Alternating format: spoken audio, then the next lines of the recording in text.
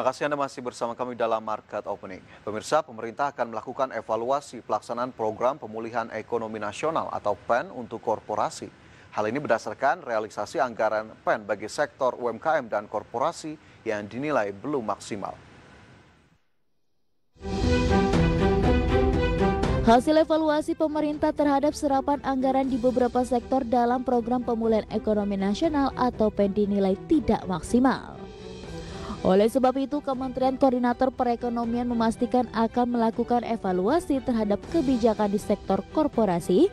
Usai menghadiri rapat terbatas di Istana, Menteri Koordinator Perekonomian Erlangga Hartarto secara virtual menjelaskan, sektor korporasi dianggap masih minim perkembangan yang terlihat dari realisasi serapan anggaran yang belum meningkat sesuai target. Data terakhir menyebutkan bahwa sektor pembiayaan UMKM dan korporasi masih belum berkembang terutama dari sisi pembiayaan korporasi, sehingga pemerintah pun juga akan mengevaluasi program tersebut bersama Himbara dan Perbanas terutama dalam mencari faktor apa saja yang menjadi penghambatnya.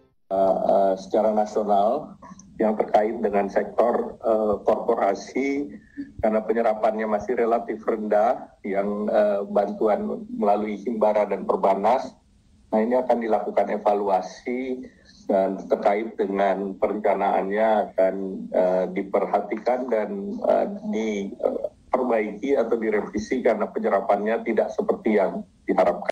Sementara itu realisasi anggaran sektor UMKM akan dialokasikan sebesar 128,21